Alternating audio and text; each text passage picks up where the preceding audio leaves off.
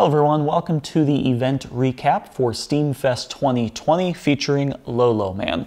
Now, Low Low Man was not originally supposed to be attending SteamFest. I actually registered it kind of as a trick. I was registering it, but I was actually going to bring a new version of Long Long Man instead. I have a um, the design file's kind of done and I have some tweaks made to it and I was going to be bringing that instead, but I was just registering this just kind of as a ruse. Um, but I ended up not having enough time to do Long Long Man, so I brought Low Low Man instead. This is complicated.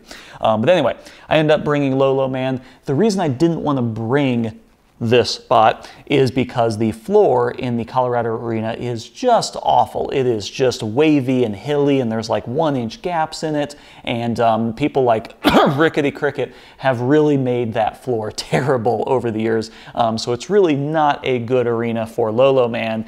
And I'm going to act like I was just trying to prove that Low Low Man just, you know, really needs a certain conditions in the arena. Um, but realistically, this was just the wrong arena for this bot. So let's get started with the first fight.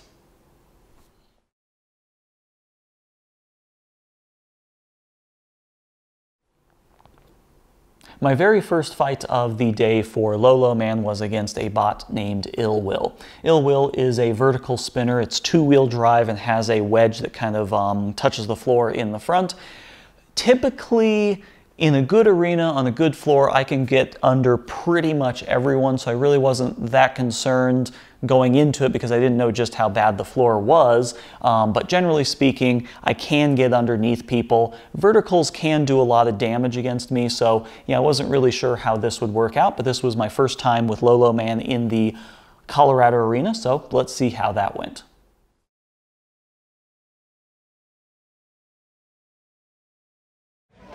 Red corner, are you ready? This match begins in three, two, one, fight! Both are not easy. Logan is very low, and he's got the low ground. That's going to be tough for Ill Will with that gyration dance that he's pulling. He's going to be driving over him a lot. He's going to have to in from the side if he has any hope of getting some of that spinny action out of low man. Low Low Man's specialty is the pit. Without a pit, he's pretty good at the pin. Getting some good testing. And if he can prevent Ill Will from causing any kind of damage, it's going to be very difficult for Ill Will to win. Ill Will continues to go right over the forks. Maybe he can catch that corner. The pushing battle's begun, and he's stepping up that weapon, hoping to get a catch. And get fight. Uh, oh, we got a good hit, but the post is still in the low. Up from the fence. Now I think they use that advantage. They do some damage. Ill Will could be looking good. Little man has 12 motors, but not 12 shots, so we're going to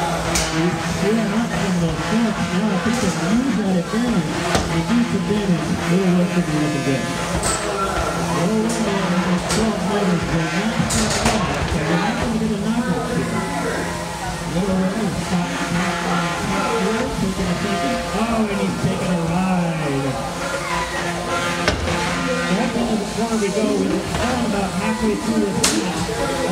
The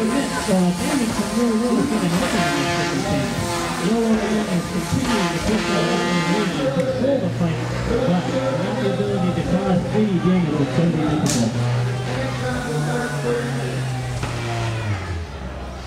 Will is powering down the weapon, and stop moving.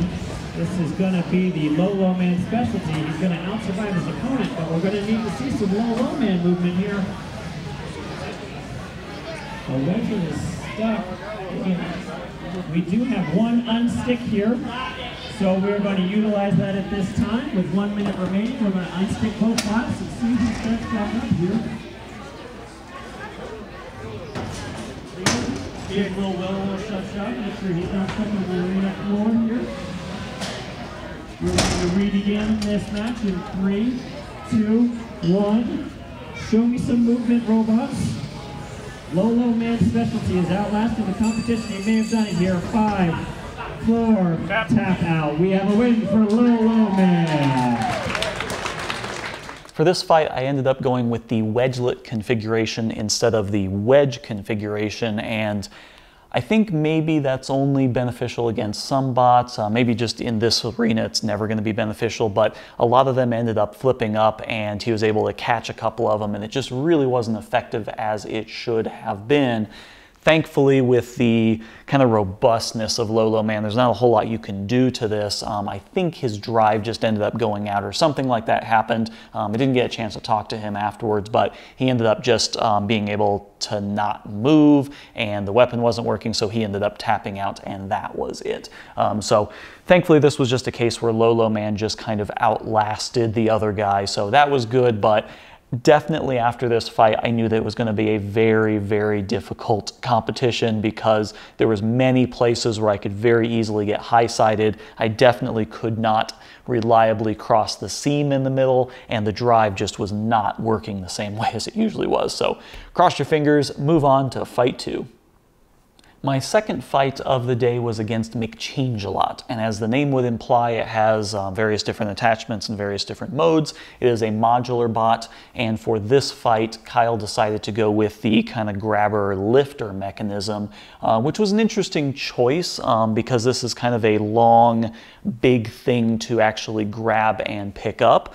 I decided to switch over to my wedge configuration. I have two different wedges. I have a standard wedge and I have this wedge, which actually has these little nubs in the front. So the idea behind this is as someone rides up this wedge, it will kind of grab and catch onto them and hopefully I can push them around. So let's see how that fight went.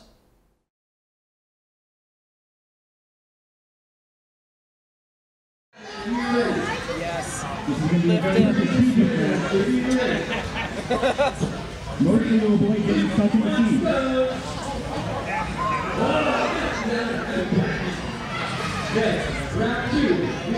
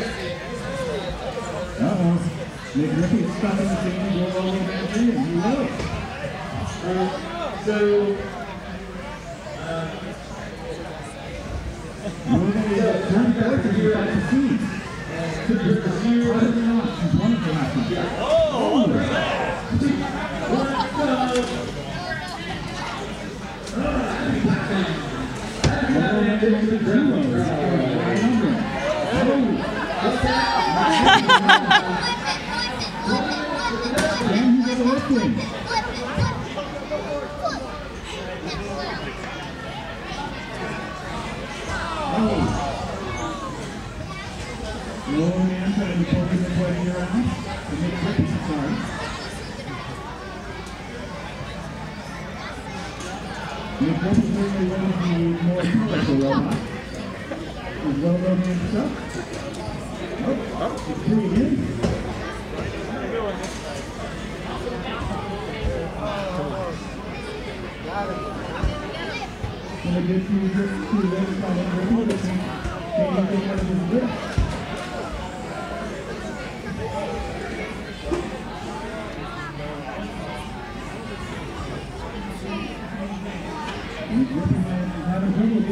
the out of his grip. up as well. Very strategic Are we both stuck?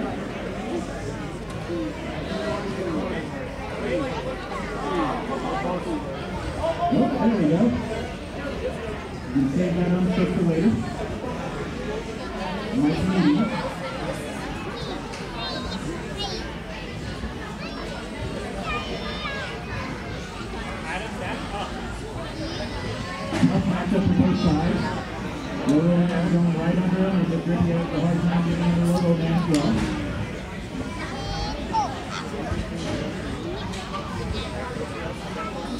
Thirty seconds left.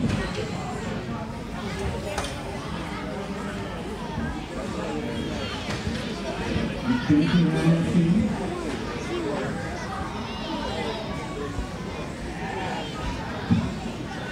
Solo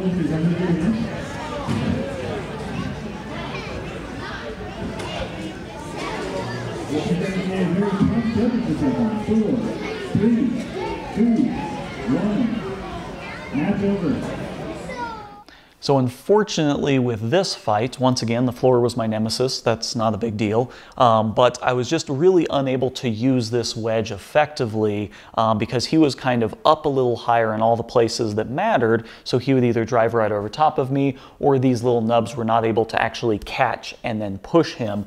So it was actually kind of a problematic fight and I ended up losing this one um, just simply because I couldn't really show that I had any control or aggression and I certainly didn't do any damage to him. Um, so it was probably not the best fight for either of us, um, but this put me down in the loser's bracket. So let's see how I manage from there. My third fight of the day was an interesting one. I was up against Kelpie, which is David Small's three pound flipper bot. Now, a flipper is a very interesting bot to fight against something like this because that's really all you can do against something like this. You can't really get a weapon into it. The horizontal is really too high to get into it.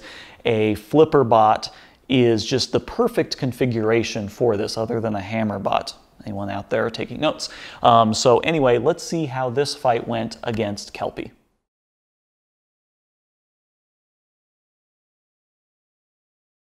Red square, are you ready? Ready to fight in three, two, one, fight! Kelpie rushes across the scene. Having trouble getting under Low Low Man though. Low Low Man backs Kelpie into the wall and pins him there. Seems he's uh, content to just let him sit there. Kelpie trying to find a spot where he can get under. Oh, nice twist by Kelpie. He's just juggling them around on the arena now. And Low Low Man splits over, so his wedge isn't as effective. Flip him up to get him stuck against the wall. Oh. Low Low Man's having a little bit of trouble there. Sorry. Kelpie's coming in for another flip, it looks like. And he loosened him up. Of good flips by Kelpie this match. Low Low Man's got him pinned and he's content to just sit there for 10 seconds.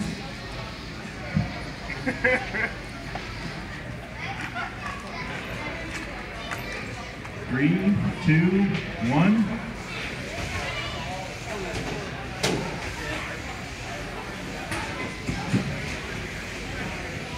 Kelpie trying to maneuver around for another flip. Just turn in place.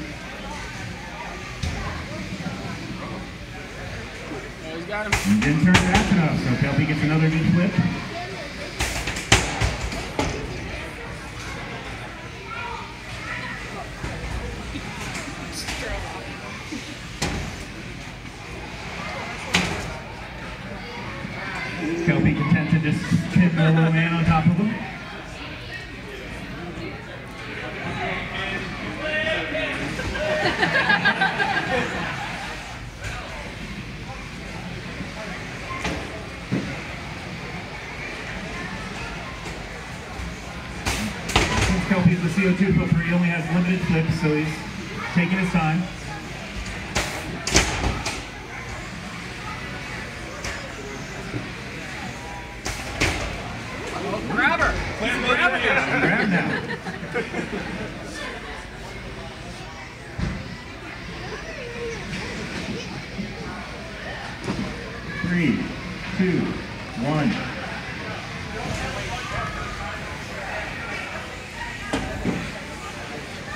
10 seconds left, so this match will go to the judges.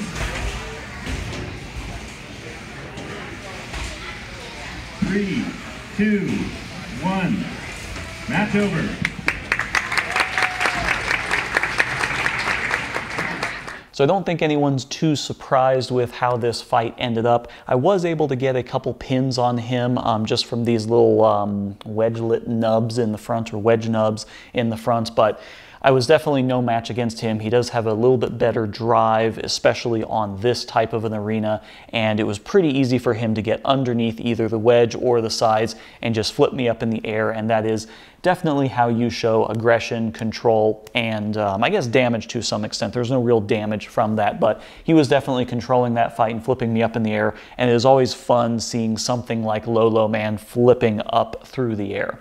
So overall, this was um, an interesting competition for Low Low Man. I ended up um, having the one win and two losses, so not so great.